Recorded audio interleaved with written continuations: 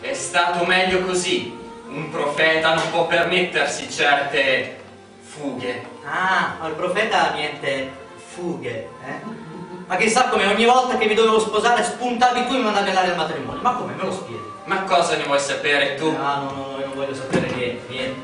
Mi spiace, non voglio sapere più niente. Ma dico, io pensavo che ci fossero altri livelli, che ci fosse altro. Ma mai così. Devo dire che lavorare per lui è stato entusiasmante. A un certo punto mi sono sentito l'attimo in cui esplode una stella. Sono rimasto quell'attimo per giorni. Andavo al bar e mi espandevo. Nel caffè, nel bignè al cioccolato, nella signora che porta i cani a passeggio, nel barista, sul pavimento, per la via. Fu stupendo quando arrivato alla piccola stradina sterrata del paesino dove abitavo. La seguì ed arrivai fino alle provinciali, poi più in là, le nazionali, la via Emilia. La riempii tutta, da Rimini a Milano.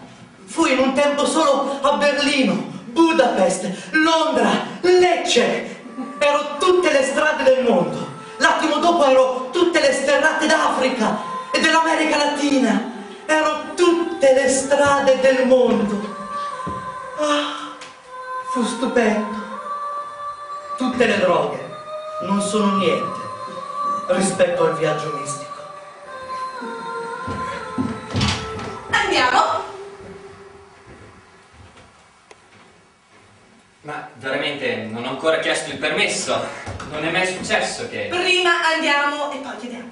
Vai, vai, vai pure Gabriele, non ti preoccupare. E mi raccomando, eh, mia zia. Un rifiuto! Ma, ma Giovanni, ma io non ho mai ricevuto un rifiuto nei secoli dei secoli! Amen. Amen. Cosa vuol dire? Vuol dire che tu adesso molto gentilmente vai da lui e gli dici che Giovanni è, è soddisfatto per la richiesta che gli ha fatto, però eh, deve rifiutare e semmai si rende disponibile per futuri incarichi tipo angelo oppure arcangelo. Così. Devo dirgli così. Tu infarciscila un po' come vuoi. Se io non sei un messaggero, no? Fai il tuo Si è lavoro. fatto tardi. Fammi strada, Gabriele. Beh, io vado, eh. Pronta, zia Maria? Allora, Ah, scusate, dimenticavo. Cos'è? Un seme delle Indie di arancia. Piatalo in paradiso. Divertitevi. Pronti?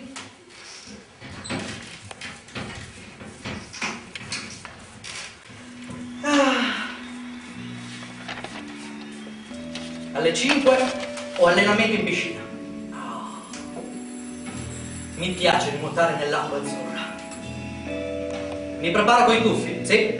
Quest'anno mi presento coi tuffi. L'Olimpione Calabondo. Un giorno mi prende da parte e mi dice: Lo vuoi sapere un segreto? Tu sei la punta della cometa. Tu puoi cambiare le cose. È stato quel giorno che mi è venuto in mente quel tuffo, tutto vortici e spirali. L'allenatore non voleva crederci. Non è nel regolamento. O mi squalificano, oppure lo cambiano.